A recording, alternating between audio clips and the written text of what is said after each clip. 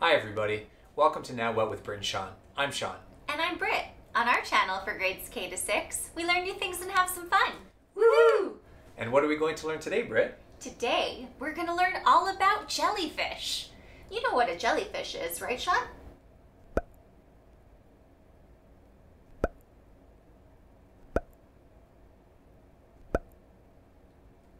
Uh, Shawn? You still there? Oh, yeah, sorry. Yeah, I know what jellyfish are. They're squishy and they look like shower caps with noodles hanging off them. Mm, well, there's more to know about jellyfish than just that. Like what? Jellyfish have been around for millions of years, even before dinosaurs lived on the earth.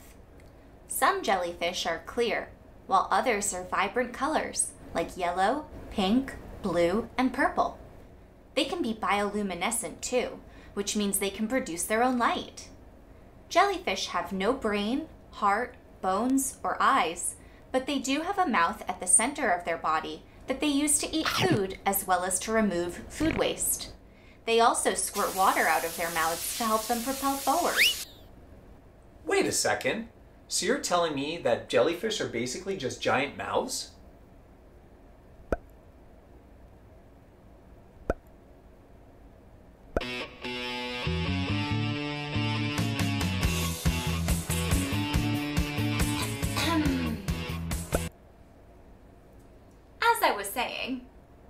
Jellyfish are made up of a smooth bag like body and tentacles with tiny stinging cells that they use to ward off predators as well as to paralyze their prey before eating them up. Jellyfish stings can be painful to humans, and from certain species, they can even be deadly. Although jellyfish don't purposely attack humans, most stings occur when people accidentally touch jellyfish. Wow, jellyfish are fascinating creatures. I wish we could see them up close. It's too bad that they can hurt us. Well, there is a place we can go where the jellyfish can't hurt us. Where? I'll show you. Hold your breath. Here we are at the incredible Jellyfish Lake, which is located in Eil Malk Island in Palau, Micronesia. As you can see, there are thousands of golden jellyfish swimming around us. Wow, they're incredible. But how do you know they can't hurt us? These jellyfish evolved without stinging cells because there are no predators in the lake. Since they feed on algae, they don't need stingers to catch prey either. How did they evolve this way? That's a great question. Jellyfish Lake is about 12,000 years old. During the last ice age, the sea levels rose to the point where seawater began to fill the basin. When the glaciers receded, there was no place else for the jellyfish to go. This allowed them to evolve in their own unique way. Wow, this lake is amazing. But I'm getting a little bit of a foot cramp from all this swimming. Let's go back. Okay, Swimming with the jellyfish was super relaxing. I agree. I wish there was a way we could relax with jellyfish anytime. There is. How? I'll show you. For this activity, you're going to need some water, a clear plastic bottle. It doesn't have to look like this. It can be a soda bottle or a water bottle, a glass, some tooth floss or some thin thread, some food coloring. I chose blue because it kind of looks like water, scissors, some permanent markers, various colors, a thin plastic bag. The one I'm using are ones that you get from bagging uh, vegetables. These work really well for this activity, and some white labels. The first thing we're going to do is cut out a square from the plastic bag that we have.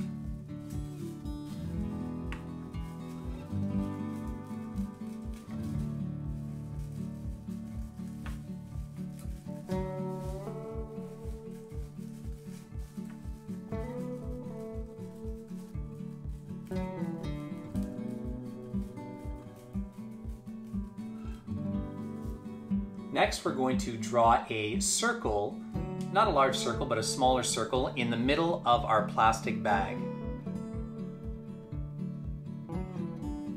And now we're going to jazz up our jellyfish. We're going to add a bunch of colors and stuff, so when it's in the in the bottle, it'll actually look really vibrant. So I'm going to add some green, and I'm just going to make some some squiggly lines going out, kind of like looks like kind of like a sun. The idea is that when I'm cutting the plastic bag later, these will be on my tentacles.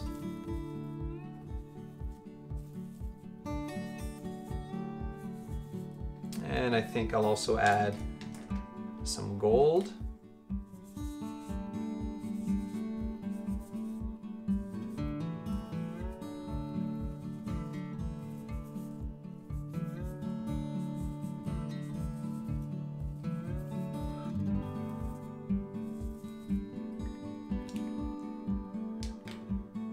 And then I'm going to color the body a nice silver.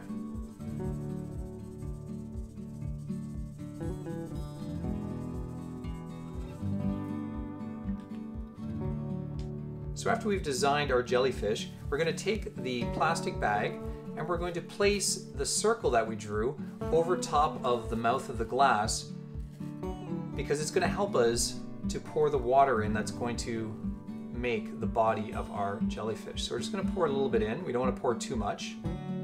We want to pour enough that there is a body, but if we pour too much, then the jellyfish will actually not fit into the mouth of the bottle. Take the sides of the plastic bag now, and we're gonna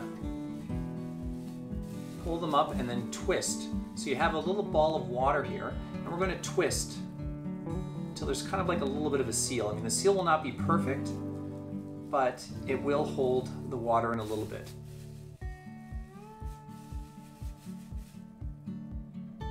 Now, once you have twisted the, the water ball, you're going to take some tooth floss or some thread, and you're going to tie a few knots around the area of the plastic that you twisted. You can always get someone to help you out. So we're just tying around.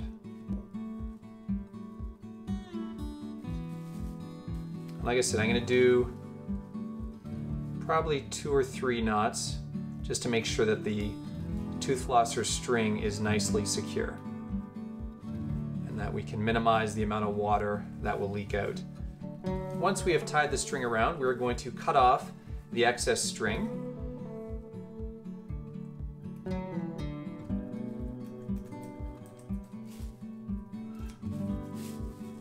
And then we're going to cut a little bit of the plastic bag at the bottom off, kind of make it a little bit even.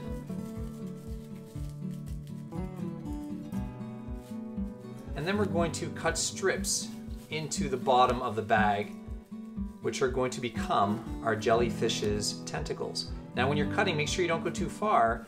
You don't want to cut all the way up to the string and cut off the string, which is actually holding the water inside. And you also obviously don't want to puncture the plastic that is holding the water as well.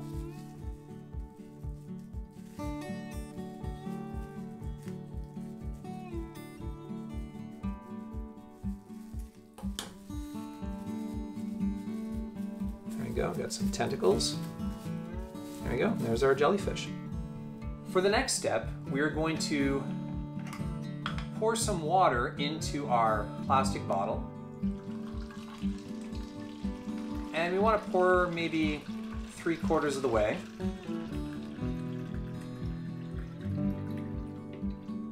And then we're going to add some food coloring. I would suggest using one drop at first um, because if you actually put too much food coloring in, the water will become too dark and you will not be able to see your jellyfish. So I'm going to put one drop for now, and if I think it's too light, I can always add a little bit later.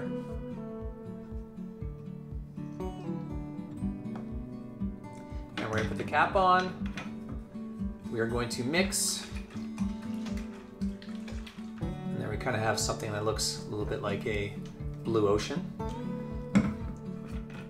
Now we're going to place our jellyfish inside and see how I mentioned before, you don't want to put too much water in because you want to make sure that it does enter the neck of the bottle. And ours is actually a really good size, so it does fit. And then you're going to fill the rest of the bottle up with water. And as you notice, we actually use the right amount of food coloring. It's not too dark so we can still see our jellyfish. So like I said, one drop is usually okay. And if you want to add some at this point right now, you could. But once you've put too much in at the beginning, you can't change unless you change the water out. And we're sealing the top back on. And here is your jellyfish. As he floats to the top.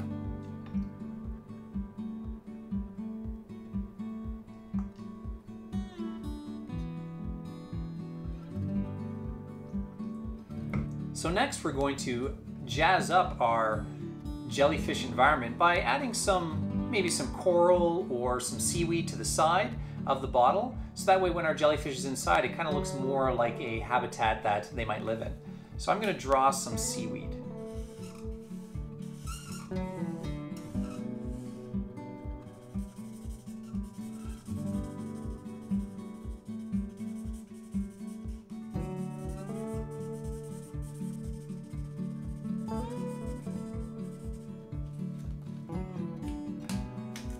And then I'm going to cut the labels out.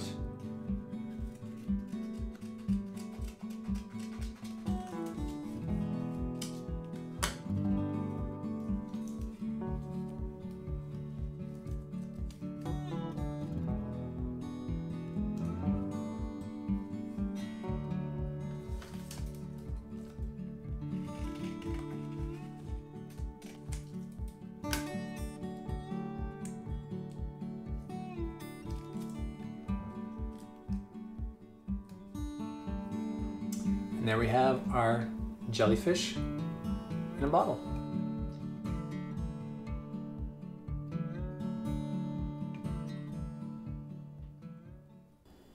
That was awesome.